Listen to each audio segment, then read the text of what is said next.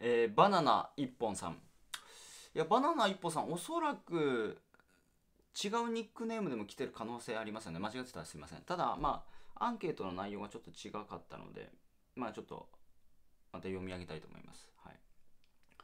えー、まあ月300万稼げるようになりたいと、うん、で、えー、そうですね、うん、月300万稼ぎたいんだったらもう完全情報ビジネスを僕はやった方がいいと思います、うん、300万クラスであるならば、うん、もちろんそのアフリエイトあそうそうそうそう。まあ今月か来月かになっちゃうかもしれないんですけど、まあ、僕の塾生さんでブログアフリエイトで、ね、アフリエイトブログアフリエイトで300、400稼いでる人いますけれども、あのー、まあ、その人はねもう1000サイト以上保有してるんですよ。だからそこまでのベースを作るのに時間やっぱかかるんですよね。うん。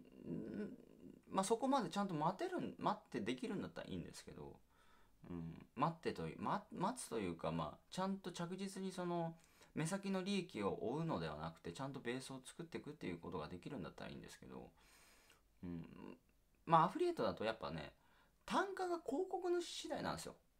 うん。アフリエイトって紹介じゃないですか。だから紹介料なんで、うん、広告主が決めてるわけですよ。でも自分のコンテンツビジネスとか情報ビジネスっていうのは自分で単価決められるんで、だからそこですね。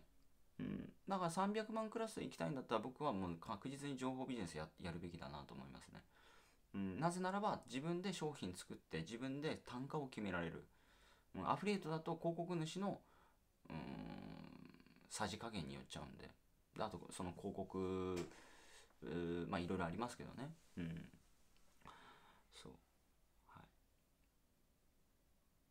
ということですね。まあ、あの僕はドリームアカデミアというところでそこで教えてるんですけど、そのドリームアカデミアで教えてる今回ですね、えー、マインドセットの方、えー、プレゼントさせていただきますんで、ただ1月31日までの期間限定のページにはなりますけれども、まあそこで見ていただいて、うんまあ、情報ビジネスやるにしてもやらないにしても、えー、300万稼ぐためにはマインドは100%必要です。マインドがなくて300万稼げてる人あんま見たことないですね。あんま見たことないです。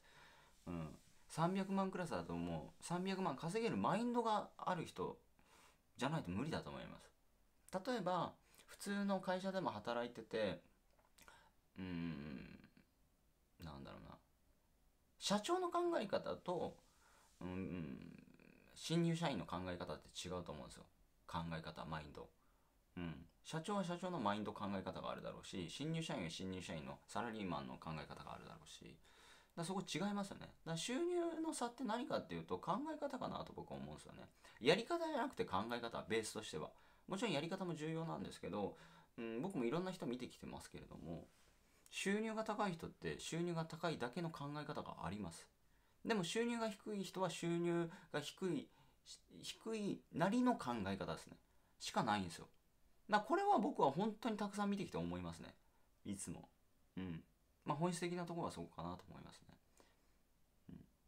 収入が上がらない収入が上がらない考え方があるんですよ。収入が上がらない人って。うん。だからまあ今回ですねしっかりと究極のマインドセット見ていただいてまあ自分のうんあれにしていただきたいなと思います。はい。ということで今回はアンケートありがとうございました。